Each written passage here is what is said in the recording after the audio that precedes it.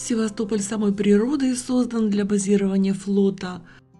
Здесь такое огромное количество глубоких, удобных для стоянки судов э, бухт.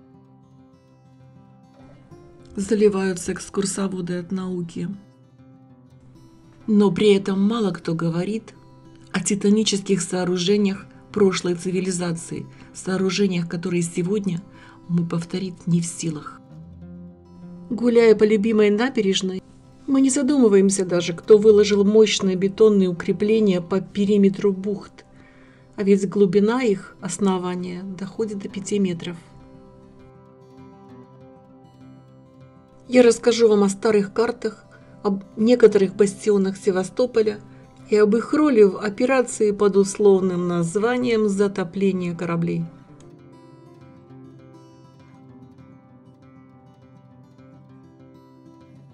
Только лишь посмотрев на эту карту, каждый скажет «Севастополь, корабли, ну, это места затопления кораблей. Ну вот и название знакомые. Селистрия, князь Константин, императрица Мария. Да, это затопленные корабли.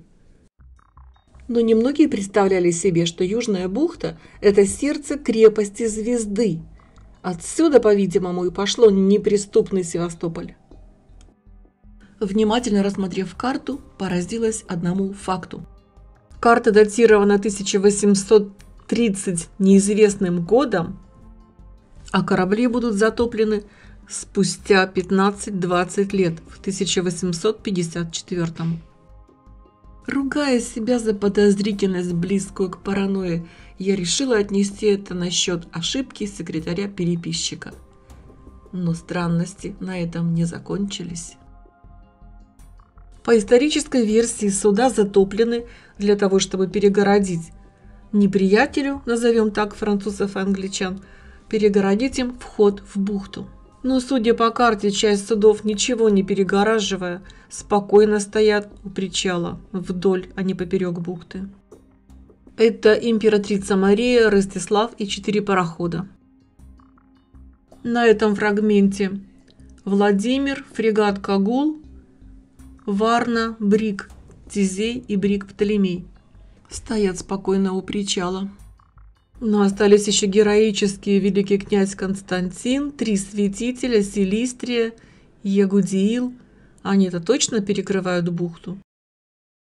Но это лишь на первый взгляд. На самом деле мы видим обычную стоянку, когда судно пришвартовано к огромному металлическому поплавку, так называемой бочке – Вокруг бочки может э, собираться даже несколько судов, два или три. Судно бросает якорь и оказывается как бы на растяжке между бочкой и своим якорем. Это обеспечивает относительную неподвижность в море. Бочка, в свою очередь, закреплена жестко на так называемом мертвом якоре. Та же картина на этом фрагменте карты, где стоят суда Париж, храбрый 12 апостолов, Чесьма, Святослав, Коварна. А вот перед вами сегодняшняя карта бухты Севастополя с указанием стояночных бочек. Если мы соединим их линией поперек бухты, то мы получим направление так называемых затопленных кораблей – То есть, когда их топили, по версии историков, они должны были стоять в ровную линеечку. И для того, чтобы вести прицельный огонь по этим судам, их необходимо зафиксировать. Судно должно стоять на бочке, забросив для растяжки свой второй якорь. Вот тогда, как говорится, стреляй не хочу. Правда, в таком случае расстрелянные эти суда будут болтаться вокруг непотопляемой бочки. И красивая схема заграждения бухты останется только на бумаге. Ну, добро бы, если бы нам рассказали, что в деревянных бортах судов прорубили отверстия, металлических открывают кингстоны, или, или же заложили пороховой заряд и взорвали это бы выглядело еще как-никак правдоподобно. Но нас уверяют, что корабли были расстреляны из собственных береговых батарей.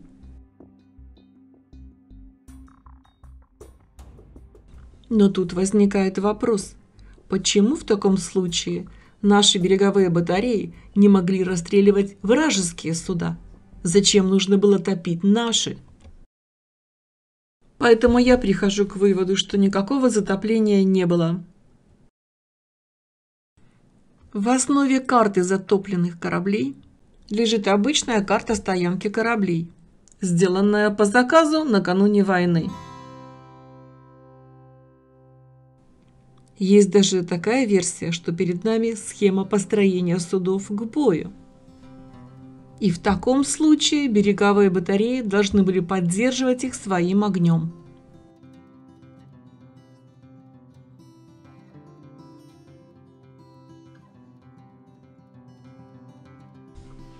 А теперь я хочу вам показать, что артиллерийский огонь с батарей с севера и с юга и так защищал бухту наилучшим образом. Батареи вели огонь в течение всей обороны и были разрушены по свидетельству многочисленных источников, занявшими город французами. Александровская батарея к началу войны – это не какие там земляные насыпи – а бастионное укрепление казематного типа.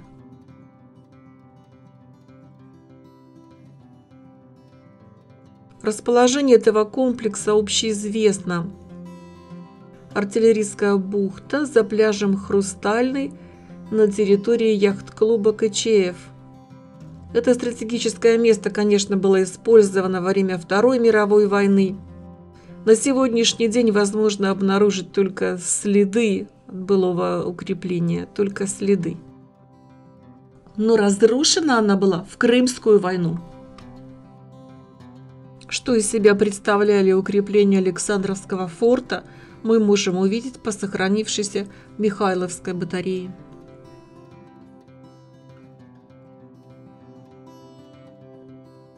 На последнем снимке мы видим Михайловскую батарею на фоне Константиновского равелина – то есть огневые точки, укрепляющие вход в бухту, находились в зоне прямой видимости, очень близко друг от друга. А вот что пишут о Николаевской батарее. Она представляла собой трехъярусный каземат длиной более 450 метров. Это была самая большая приморская крепостная батарея России того времени. Покидая южную сторону, защитники города пытались взорвать форт, но взрыв причинил ему только незначительные повреждения, но оно и понятно. В январе 56-го французы взрывают форт, да так, что после этого остаются только груды развалин. Сегодня остался только нижний ряд из трех рядов Николаевской батареи. Это Приморский бульвар. Батарея Константина на входе в бухту. Вот скажите, как можно с такого расстояния не защитить вход в бухту? А теперь давайте посмотрим бастионы и батареи по периметру Севастопольской бухты.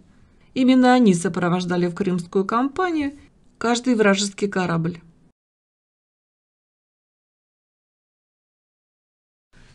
Константиновская батарея 94 орудия, Михайловская батарея 77 орудий, Четвертая батарея 47 орудий.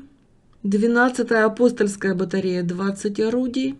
Парижская батарея 20 орудий. Святославская батарея 17 орудий. Павловская батарея 34 орудия. Николаевская батарея 105 орудий. Место затопления кораблей первая линия. Батарея номер 8 62 орудия, Александровская 56 орудий. Это и есть та батарея, руины которой я показывала в начале. Батарея номер 10 59 орудий. Это карантинная бухта.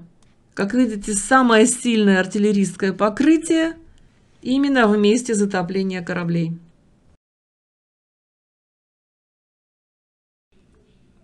Каждая береговая батарея, как мы видим, была оснащена несколькими десятками береговых орудий. орудия береговой батареи – это не корабельные пушечки. которые нам представляют в экспозиции музея, это гораздо более мощные орудия. Поразившись в очередной раз силе разрушения в XIX веке, подчеркнем очевидное. Бухты Севастополя были защищены фортификационными сооружениями в такой степени, что делали город неприступным с моря, и затопление кораблей как стратегический шаг выглядит абсолютной легендой. И все остальные разговоры о том, был ли флот устаревшим и были ли адмиралы дальновидными, становятся просто излишними.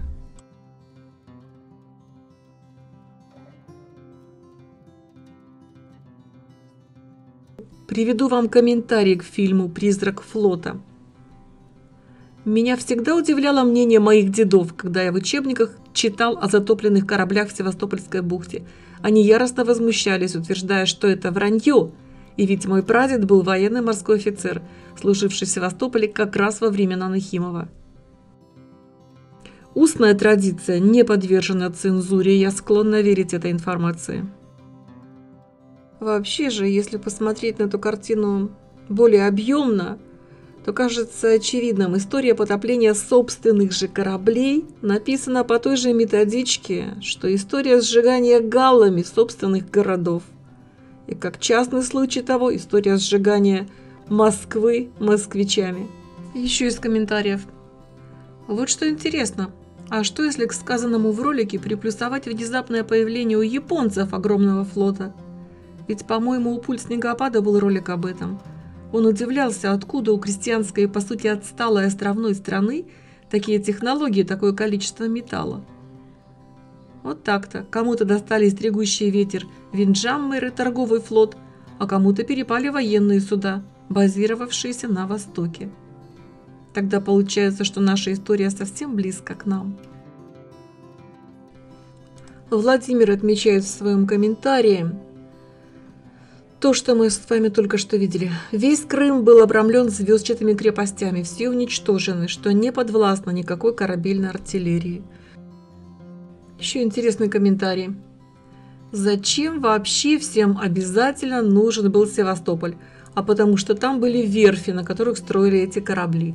Они не только флот угнали, они и доки разбомбили, чтобы не строили в будущем, имеет в виду. Это вполне вписывается в исторические события, если вспомнить, что захватив Индию, британцы вывезли оттуда не только скажем, драгоценные камни в рюкзаках у солдат, но и всю текстильную промышленность с оборудованием и запасом сырья. Светозар считает, что поводом для осады Севастополя послужило уничтожение османской эскадры кораблей, стоявшей в бухте Синопа. Тут нельзя не вспомнить такой факт. Турецкие мореплаватели звали адмирала Ушакова Ушак-Паша, но это же прямой отголосок того, что в некогда единой империи, как бы ее ни называли, и флот тоже был единым. Распад единой Азии на государство приводит к распаду единого флота, армады. Чтобы воспрепятствовать попыткам воссоединения, каждая из сторон уже прививает новую, новую религию. Византийское православие России – римский католицизм Англии и Османия на пороге исламизации. Есть претензии высказаны, что нету ссылок на официальные документы. Но поймите, друзья, если бы были реальные доказательства того, что флот угнан, то дело о компенсациях давно уже лежало бы в суде. Далее вы справедливо обратили мое внимание на то, что в литературе зачастую французов и англичан называют «союзники». Союзники были поражены, что русские затопили свои корабли. Это совершенно неграмотно с точки зрения русского языка и, я бы даже сказала, провокационно. Союзники – это те, кто заключил союз. В данном случае француз называет англичанина союзником и наоборот – но для русских это супротивник, супостат, тот, кто стоит против тебя. Но автор учебного материала называет союзниками врагов. Надеюсь, что это оговорка, а не иллюстрация поговорки «на варе шапка горит». Начинают вырисовываться картины, каким был Севастополь до этой войны. Величественные каменные бастионы, прекрасные набережные мы уже увидели. На этой гравюре британского офицера изображен док для ремонта судов. Вода с помощью системы шлюзов отводится из бухты и наполняет ступенчатый бассейн. Судно входит в док и швартуется. На верхней площадке столбики-кнехты для швартовки. Интересно, что совсем не видно металлических конструкций. Похоже, это период той виртуозной работы с камнем, которую сегодня с юмором называют каменным веком. Античный Херсонес тоже не всегда был таким обугленным и засыпанным галькой.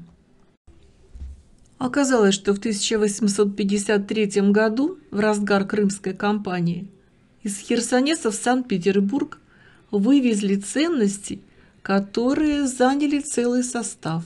Огромный мозаичный пол, который вы как раз видите на этой гравюре, разрезали на квадраты и вывезли. Мозаика пролежала на складах Петергофа около десятка лет, а сегодня выставлена в Эрмитаже в зале Афин.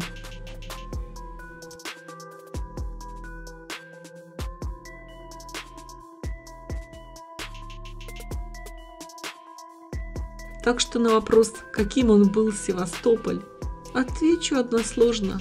Обыкновенный, античный, город высоких технологий.